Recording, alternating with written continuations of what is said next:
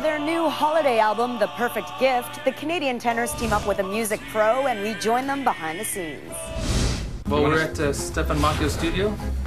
This is Stephan Moccio, and uh, we're recording uh, his uh, hit song, The Perfect Gift. And that's the title of our uh, CD coming out. That's so cool, actually. Yeah, I can't. I forgot about that. So Yeah. thank you guys. It has nothing to do with the song, Stephan. It's just the cool title. With a little help from pal Stephan Moccio, the Canadian Fab Four are releasing their first holiday season album.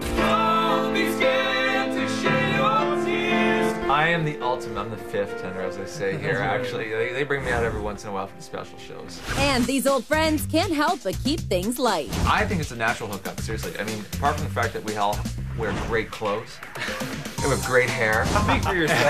I actually went to school with this guy. We did. Yeah. Yeah. Yeah. University of Western Ontario. I know we did. We Oh, used yeah. to we used to trade uh, uh, what? girls. Whoa! I was I was gonna say hair secrets. Hair secrets.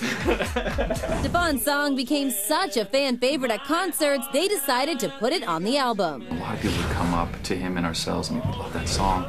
And uh, so when it came around to the next Christmas and we're like, what songs do we put on the album? I think we were all pretty much in agreement that that was one of the songs that had to be on the album. Also sure to delight their fans, the boys are currently on tour and performing with Uber producer David Foster. If it wasn't for those people that saw us in the beginning and supported us, we wouldn't be here today traveling the world with David Foster and Stephan Moccio.